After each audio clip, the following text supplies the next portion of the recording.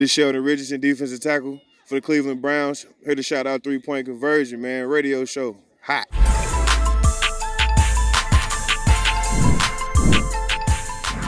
You know, I'm all geared up right now. You know, got jersey, whatever. Um, got my. Um, we got family in the building, man. We um, have a um, great guest coming on. This man is um, his perseverance is pr- probably the most impressive thing, you know, when it comes to this young man. And now to see him in the NFL, of course, and he with the Bears. I mean, that's just the cherry on top. My guy, Mr. James Vaughters. What's going on today, sir? What's going on, Rafael? How you doing? I'm good, man. Man, uh, I, I, you know what? I'm not gonna. We're gonna do talk after the show because I want to ask you about that situation, but we're gonna leave that down. I'm not even gonna bring you on that. But um, man, so like I was saying, you had a um, a very interesting path coming into the NFL. You know, after college, you you were on practice squads, um, even on just uh, like trying out for teams since 2015. Went to Calgary, won a Grey Cup. Um, I think one time you went to Calgary, came back to the NFL, tried out for some teams, then went back. That's when you won a Grey Cup, and now you are with the Chicago Bears as a linebacker. My question is, most players going through what you've gone through, they've given up. They had given up, and you know what? I'm done. It's not going to happen. What was it with you that kept you on this path and that you were like, nah, I'm making it to the NFL? Um, it was one of those things where I just kind of had to, uh, I guess, get to the point where I was really confident enough in my ability that I said, I don't care if I got to wait a year. I don't care if I have to wait two years to uh, play football again after I got injured with the Packers in uh, in 15. I said, I mean, I'm a, I'm prove to everybody, you know, that I got the that I have what it takes because I feel like I showed it in that preseason when I played with the Packers, and uh, for a variety of reasons, I just didn't get a chance to show it on uh, on Sundays during the regular season, and I felt like I was a player of that quality, and I was willing to do whatever it took to show it. Mm. Absolutely, that's definitely what's up. I first want to give you excuse me, shout out for being more than just a football player. You got your degree in political science. That's that's real big, man. So props for that.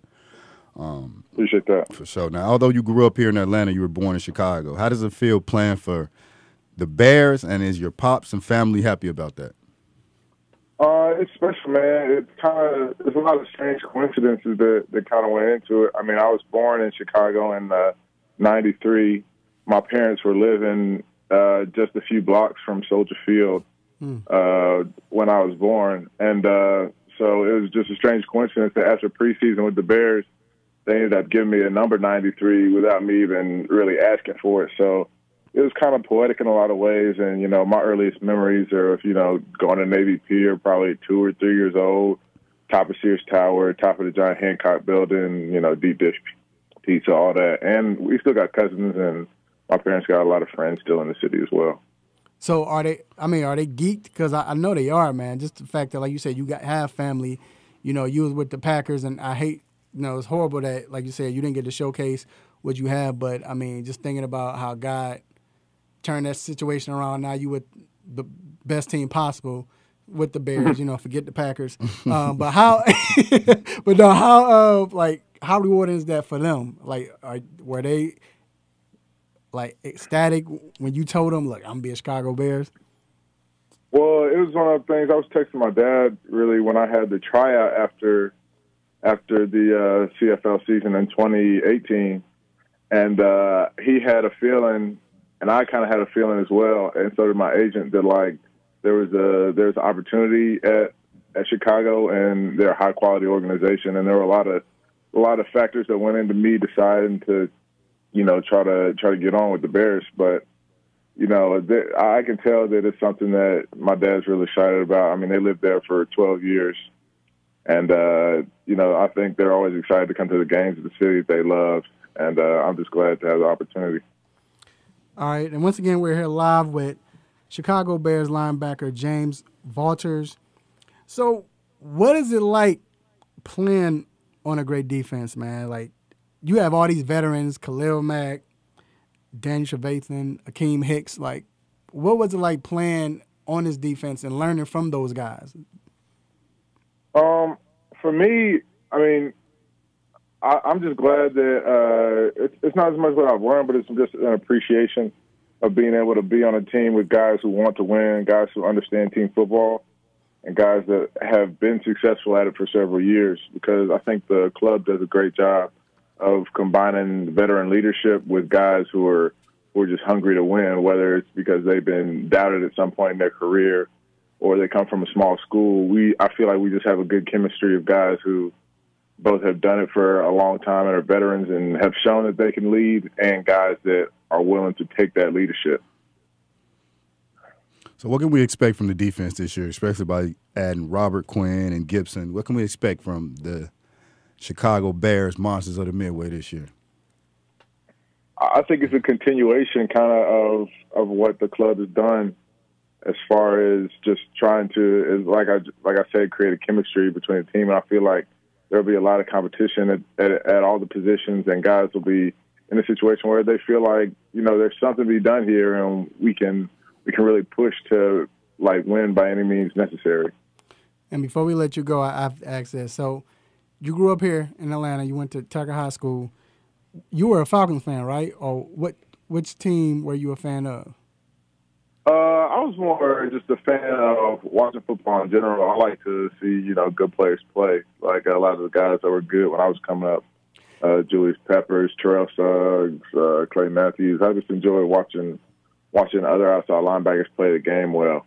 Because I was going to ask you, I always wondered this. You know how so, like you have Julius Peppers and team, you know, players you like. So, and you might have a team or so that you might, you know, find of when you get to the NFL now, you're playing with the Bears.